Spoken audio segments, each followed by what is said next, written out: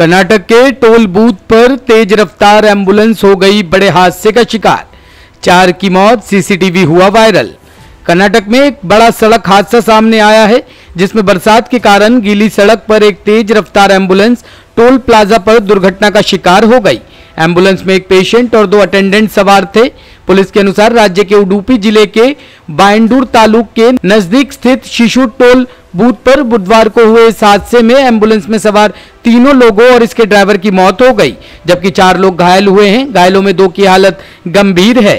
इस हादसे का सीसीटीवी फुटेज भी सामने आया है, जिसमें गार्ड एंबुलेंस को आता देख दो बैरियर तो समय से हटा देता है, लेकिन तीसरा बूम बैरियर को ऊपर करने के पहले ही बेकाबू एंबुलेंस तेज रफ्तार से आ जाती है और कुछ ही पलों में सब कुछ तबाह हो जाता है। टॉप स्टोरी ब्यूरो के लिए रवि डालमिया की रिपोर्ट।